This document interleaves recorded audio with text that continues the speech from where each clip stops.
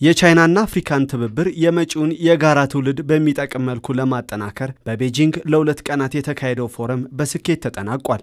የፎረሙን መጠናቀቅ አስመልክቶ ስለ ፎረሙ ዘገባ ለመስራት ቤጂንግ ለታደሙ ከ2500 በላይ የሚዲያ ባለሙያዎች ጋዜጣዊ መግለጫ የሰጡት የቻይናው ፕሬዚዳንት ሺ ጂንፒንግ የቻይናና አፍሪካ ትብብር በዓለም አቀፍ ደረጃ ባሉ ተግዳሮቶች ቢፈተንም በታሪክ ከፍተኛው የመልካም ትብብር መንፈስ ላይ ነን ብለዋል። ፎረሙም በሁለቱ ወገኖች ትብብር ላይ አዲስ ምዕራፍ ፈጥሯል ሲሉ አንስተዋል።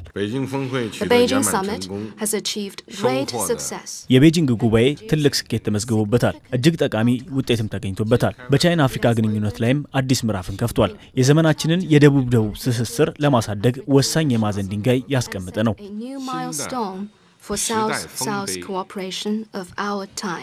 በፎረሙ ሊተገበሩ የተወሰኑ ስምንት የትብብር ማዕቀፎች የአፍሪካን ልማት የሚያፋጥኑ እንደሆኑ ታምኖባቸዋል። ከዛም ባለፈ ፎረሙ የጋራ ነገ ላለው የጠነከረ የቻይና አፍሪካ ማህበረሰብ በሚል የጸደቀውን የቤጂንግ ስምምነትና ስምምነቱን ለቀጣይ ሶስት ዓመታት ለመተግበር የሚያስችለው የድርጊት መርሃ ግብርም ጸድቆበታል።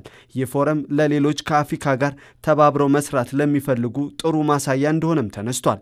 በፎረሙ አፍሪካን የሚጠቅሙ ውሳኔዎች ተላልፈውበታል። የአፍሪካ ወገን የወቅቱ የፎረሙ ተባባሪ ሊቀመንበር የነበሩት የደቡብ አፍሪካው ፕሬዝዳንት ሲሪል ራማፎሳ ፎረሙ የአፍሪካን ተጠቃሚነትና ፍትሐዊ ወዳጅነትን እንደሚያጠናክር ተናግሯል። የህዝብ ለህዝብ ግንኙነትን ከማጠናከር ባለፈ አፍሪካ ወደ ቻይና እሴት የተጨመረባቸው ምርቶች እንድትልክ ከፍተኛ ድጋፍ እንደሚደረግ ተጠቁሟል። አረንጓዴ ልማትን ለማሳደግ የቻይና አፍሪካ የአረንጓዴ ልማት የምርምር ማዕከል በአፍሪካ ይመሰረታል። ከዛም ባለፈ ራማፎሳ በኤነርጂና አቅም ግንባታ ዘርፍ ጠቃሚ ውሳኔዎች መተላለፋቸውን አስታውቋል።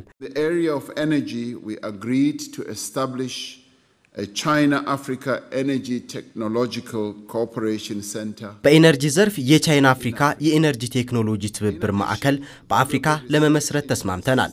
ከዛ በተጨማሪ የተፈጥሮ ሀብትን በአግባቡ መጠቀም የሚያስችል የጂኦ ሳይንስ የምርምር ማዕከልም ለመመስረት ተስማምተናል። ቻይና የአፍሪካ የአቅም ግንባታ ልማት ኢንስቲትዩት በዚምባብዌ ሀራሬ ትገነባለች። ያም የአፍሪካ ህብረት የአጀንዳ 2063ን እውን ለማድረግ ብዙ ርቀት የሚያስጉዘን ይሆናል። in supporting the implementation of the African Union's Agenda 2063.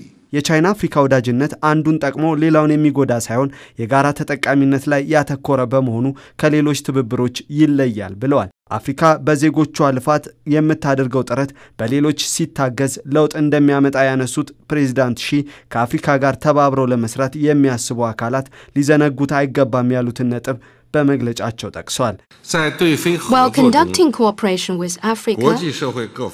ከአፍሪካ ጋር ትስስር የሚፈጽም ማንኛውም ዓለም አቀፍ አካል የአፍሪካን ሀገራት ሉዓላዊነት ማክበር ይጠበቅበታል። የአፍሪካን ድምፅ መስማት አለበት። የአፍሪካን አቋምም በቁም ነገር መመልከት ይገባል። ለአፍሪካ የሚገቡትን ቃል በተግባር መለወጥም አለባቸው። ቻይናም የአፍሪካን ሉዓላዊነት ባከበረ መልኩ የምታደርገውን ድጋፍና ትብብር አጠናክራ እንደምትቀጥል ተናግሯል። በዚህ ሉዓላዊነት እየተቀዛቀዘ በመጣበት ወቅት የቻይና አፍሪካ ትብብር ተጠቃሚነትን በማሳደግ ረገድ ትልቅ ሚና የሚጫወት ሲሆን በፎረሙ የሚገኙ ጥቅሞች በቀጥታ ለዜጎች እንደሚደርስም ተስፋ አድርገዋል። ሲሪል ራማፎሳ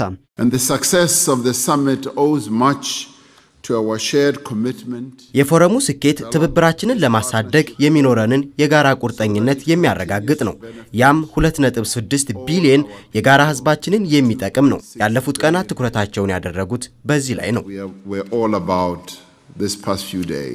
ላለፉት ስድስት ዓመታት የፎረሙ ተባባሪ ሊቀመንበር ሆነው ያገለገሉት ፕሬዚዳንት ሲሪል ራማፎሳ ጊዜያቸውን አጠናቀው የተባባሪ ሊቀመንበርነቱን ስፍራ ለሴኔጋሉ ፕሬዚዳንት ማኪ ሳል አስረክበዋል። የትብብር ፎረሙ እስካሁን ያስመዘገባቸውን ውጤቶች በሳል ዘመንም ተጠናክረው እንዲቀጥሉ ተመኝተዋል።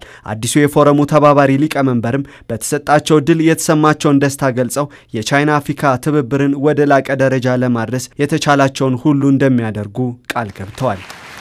谢谢萨勒总统。Thank you, President Sal. That concludes the